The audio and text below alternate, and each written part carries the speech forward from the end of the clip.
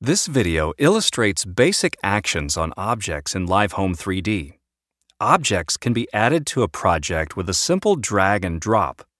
Let's take a look at how this works in both 2D and 3D. You can find the object you need by navigating through the categories of the object library or type a keyword in the search field below. Then tap on the object and hold until the object is selected. Then drag it over to the floor plan. But objects can also be dragged and dropped into the 3D view. Did you notice? The lamp automatically stuck to the ceiling? This is because the furniture objects have what is called glue options that make sure they stick to the correct surfaces. When you drag and drop a window or door into the 3D view, it is automatically snapped onto walls. Note that objects can be moved in both the 2D and 3D views.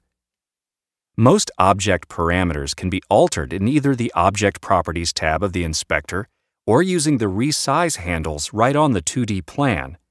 You may drag any of the handles to adjust the size and rotate an object, or simply type in the necessary parameters. The Object Properties tab of the inspector also allows to change glue options, set the elevation of an object, and more. When you select an object either in 2D or 3D, the first tap selects it and the second tap opens the context menu. This menu is used for copying, pasting, and other operations with the objects. To deselect an object, click Done in the toolbar or simply tap on the ceiling or on the ground. If you want to select multiple objects, Place and hold one finger on the screen and tap on the objects you want to select with another finger. One great feature that the program offers is the object grouping. It can be accessed in the context menu after selecting multiple objects. This allows them to be moved and rotated together. One more useful tip.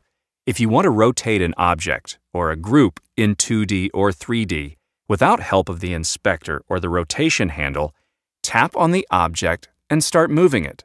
Then place a second finger on the screen and use the rotate gesture to set the necessary angle. And that covers most of the basics. Now, to make work much quicker for yourself, take a look at the program help to learn more about the program functioning. Well, that's about it.